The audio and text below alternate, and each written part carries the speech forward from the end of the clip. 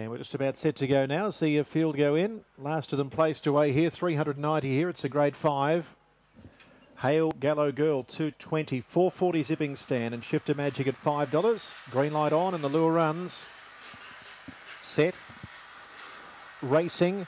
Hail Gallo Girl back about to centre field. Zipping Stan has won the start and leads out here from Lord Da Vinci going around the outside. Hail Gallo Girl is uh, joining in now. And further back then to Zade's Magic, the inside. Further back, Shifter Magic out wide then is Take the Spot. And towards the end through and also Scott to give in the straight though. Zipping Stan still led the way. Hail Gallo Girl's coming on swiftly at the end and she'll get there. Hail Gallo Girl wins it from Zipping Stan and also a Shifter Magic. Close up in turn then through was coming through at the end. Uh, take uh, further back then Take the Spot. Scott to give another one back there in company with the likes of uh, Zade's Magic, who finished a fairway back in the field.